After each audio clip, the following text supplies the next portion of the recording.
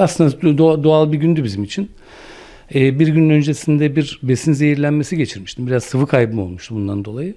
Hatta bir gün öncesinde serum da aldım. Kendimi toparladım. Ertesi gün kritik bir ameliyatım vardı sabah.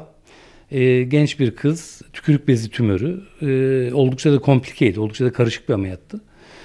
Ee, kendimi iyi hissettim. Ameliyata başladım. Ama başladıktan bir süre sonra e, tansiyonum düşmeye başladığını fark ettim. Biraz böyle gözlerim biraz e, kaymaya başladı. Yani kendimi hissettim onun tansiyonum düştüğünü. E, ameliyatı bırakabilecek bir pozisyonda değildim. Genç bir kız, e, tümör ameliyatı, e, kritik özelliği olan ameliyatlar, yüz siniriyle ilgili olan özelliği olan bir ameliyattı. E, aklıma hemen o an e, kendime serum taktırmak geldi. E, tabii o anda ellerim meşgul olduğu için de mecburen ayağımdan serum taktırdım ve e, ameliyatta da devam ettim. Yani zaten serum takılınca kendimi çok daha iyi hissettim ve e, ameliyat sürecini normal yaptım.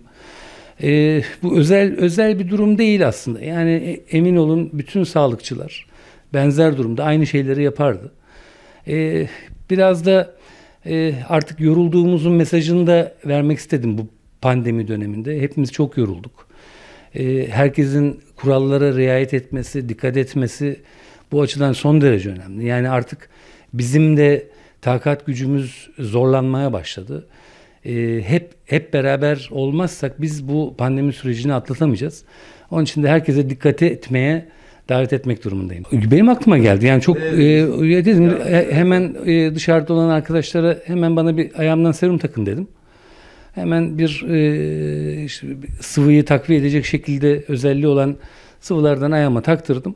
O tabii hemen e, takıldı 5 dakika sonra zaten tansiyonum biraz normalleşmeye başladı. Hani tabiri caizse bitim kanlandı. Kendime geldim ve ameliyata rahatlıkla devam ettim. Ve ameliyatta hiçbir sorun olmadan da e, ameliyatı tamamladık. Zaten kendimi kötü hissetsem e, hastayı riske edecek en ufak bir harekette bulunmazdım.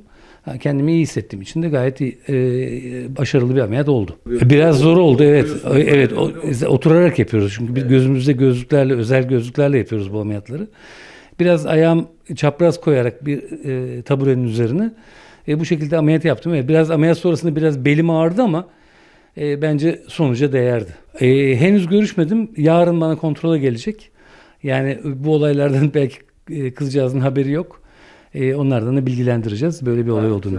Seni ameliyat ettik ama neler geldi başımıza. Evet, evet kendisinden paylaşacağız bu konuyu. Sadece pandemi döneminde tüm sağlıkçıların çok yorulduğunu, çok özveriyle çalıştığını hepimizin e, bu konuda tüm e, milletimizin bize destek olmasını ve kurallara uymasını çok rica ediyorum. E, çok çok iyi bir kulvarda olduklarını söyleyebilirim ama e, bütün meslekler gibi bizim mesleğimiz de çok onurlu ve gururlu bir duyduğumuz bir meslek.